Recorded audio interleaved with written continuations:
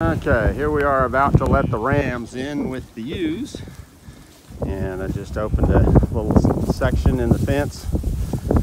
And the goat is very excited about this. I'm not quite sure why.